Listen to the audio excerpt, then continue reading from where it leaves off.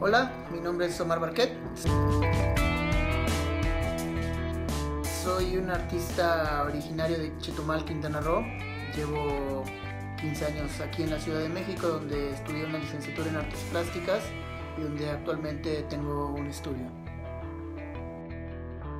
Mi trabajo implica una exploración de diferentes disciplinas, eh, principalmente una relación entre sonido, imagen, performance, algunos vínculos con poesía y tengo una práctica que también se acerca mucho al collage.